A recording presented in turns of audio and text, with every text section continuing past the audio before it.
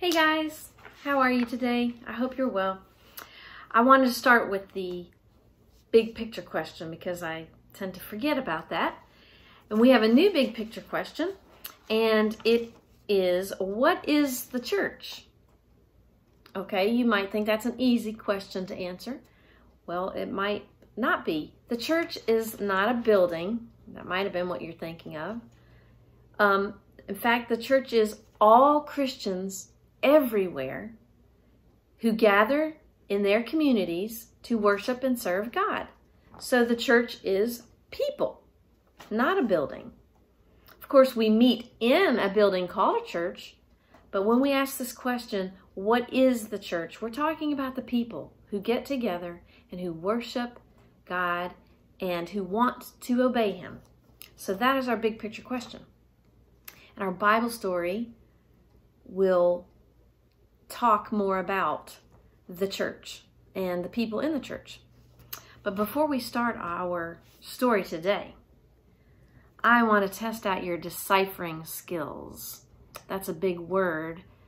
And what I mean is, I want to see how well you are at deciphering or figuring out the difference between these two nickels, okay? So one of these nickels is a real nickel. It's the real deal. It's genuine. It's truly a nickel. And the other one is a fake or an imposter. And it's just pretending to be the real deal. It's not really. So you might be able to tell, I don't know, maybe it's easy, maybe it isn't. Which nickel is the imposter? The one that's just pretending to be a real nickel. Can you guess? It's this one. This one is that fake one. Whoops, I just dropped it.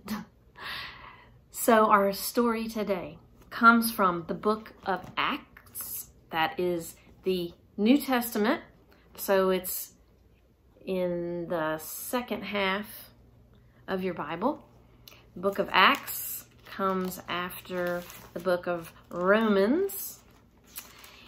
And this is a, um, actually, Luke is the one who wrote the book of Acts. And this comes, this specific story comes from chapter 5. And it is about a married couple, a husband and a wife, who pretended to be generous. But in fact, they weren't. And the Apostle Peter knew that they were not being honest. They were trying to trying to lie and and hold back the truth. And they learned a very hard lesson. Um, and it, it's a story that reminds us that we can't lie to God. We can't hide anything from God. He knows us inside and out. He knows every thought that we think. He knows everything we say and do, either on the inside or the outside. So we cannot hide anything from him. And that's important to remember. So who do we have reading our story today? We have Sydney Mallory. Some of you may remember her. She is one of our youth at Intown, and she used to help out in the Kingdom Kids classes. And I know that many of you really enjoyed having her in the class because she likes to have a lot of fun. So she does a great job reading today's story. So let's listen to Sydney as she reads from Acts chapter 5. Ananias and Sapphira, Acts 4 through 5. The early church was growing. By the power of the Holy Spirit, the apostles were telling people that Jesus had been raised from the dead. A large group of believers had met together in Jerusalem. They shared everything they had. If someone had more than he needed, he gladly gave it away, so everyone had what he needed. One man, Barnabas, sold a field and gave the money to the apostles. The apostles used the money to help with people in need. Everyone who had houses or land did the same. Ananias and his wife Sapphira sold some land and pretended to give all of the money to the apostles, but they kept some money for themselves. When Ananias brought the money to the apostles, Peter asked him, Why are you lying to the Holy Spirit? You could have been honest about what you did with the money, but instead you lied, not to us, but to God. When Ananias heard this, he fell down, died, and was buried. Everyone who heard about this was filled with fear. About three hours later, Sapphira came to the apostles. She did not know what happened to her husband. Peter asked her, Is this all the money you got for the land? Yes, she said. That's all of it. Peter said, Why did you and your husband agree to test the Lord? Then Sapphira fell dead too. Great fear came on everyone in the church and all who heard about these things. What does it mean to fear God? When the Bible speaks about fearing God, it's not what you probably think of about hiding from something and not getting around something because you're afraid of it. Fearing God means understanding His power and holiness. When we honor and respect God, we are fearing Him. When we understand how dangerous it is to be an enemy of God, we are fearing God. When we love Him and we want to be His children and we want to have faith in Jesus, that is fearing God as well. Will you pray with me? And let's ask God to help us to fear Him in this way. Father, thank you for all that you do for us. Lord, help us to fear you and draw near to you. Give us an understanding of what fearing you really means. And give us generous hearts that want to love and serve you and the world around us and to spread the good news of Jesus to all that we meet. Thank you for your love. And thank you for this time together. And we pray all in Jesus' name. Amen.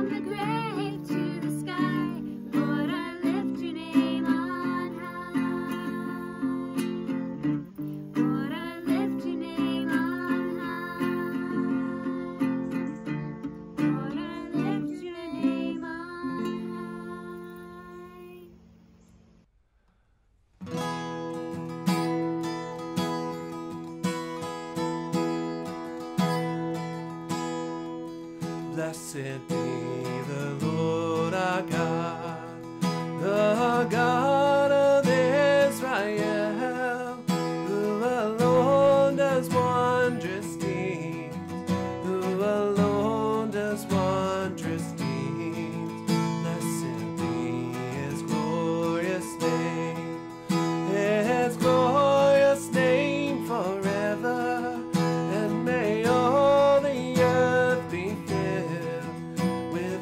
with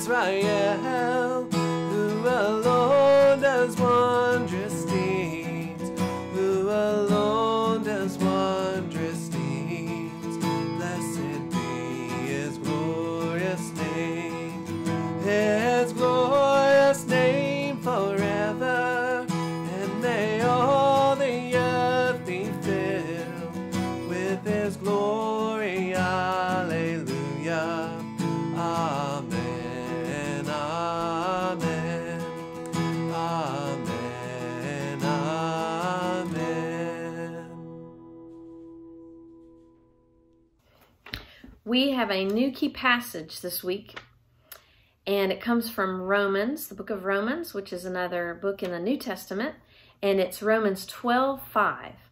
And it says, We, though many, are one body in Christ, and individually members one of another. So, what is that talking about?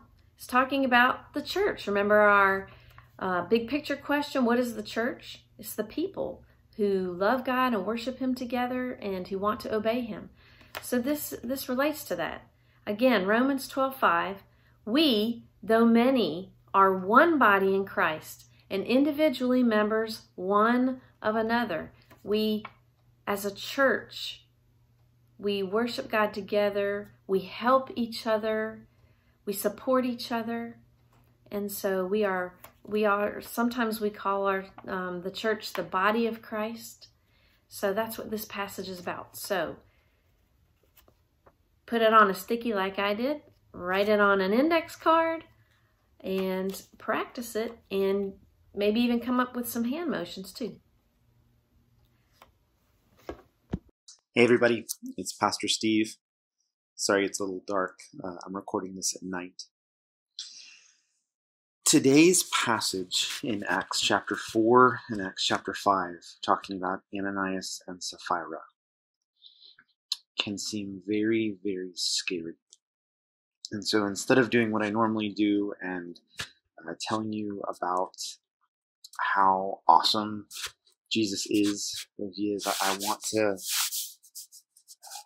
I want to explain something to you, and I want to make sure you know something.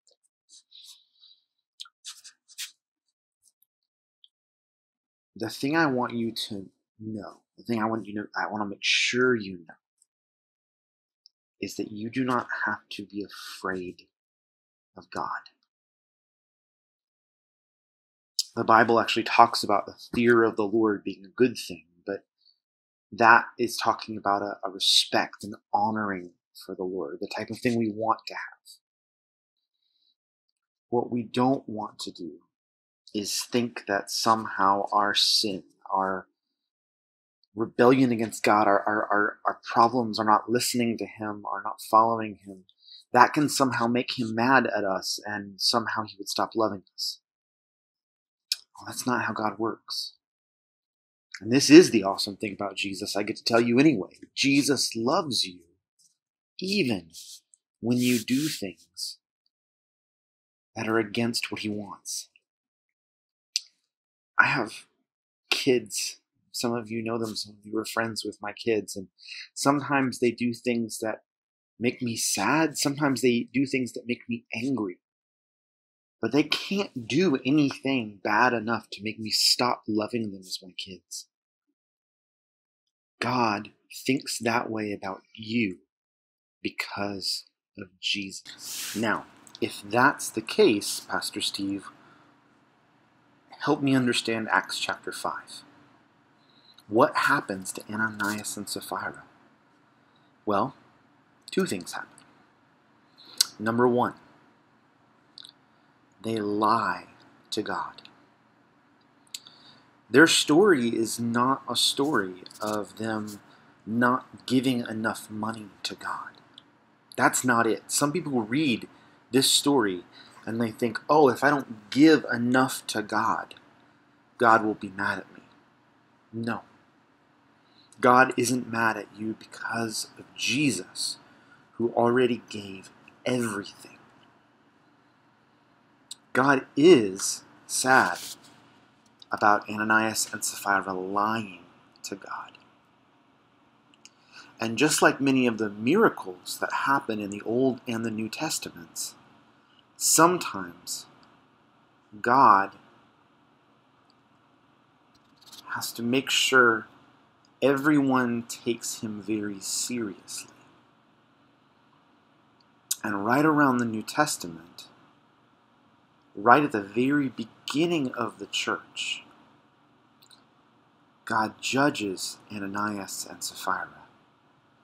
The way he judges Pharaoh in the Old Testament with Moses, the way he judges many nations like Jericho when the walls come down with Joshua, the way he judges many bad kings in the Bible. And so to show his own power and his own glory, he ends their life. I can't explain that anymore. It isn't normal. Many, many people in the Bible do things that would make God sad or mad. And yet God forgives them and they go on to serve him. But Ananias and Sapphira weren't that way. Now, did they truly believe in Jesus? Why would they lie? I don't know. I don't know whether they truly believed in Jesus or not. If they did, then even their lying was not enough to make God stop loving them. I know this is big, and I know this might even be complicated for you. It's okay when there are parts of the Bible that don't seem to make sense. That's one of the wonderful things about loving Jesus and following Him.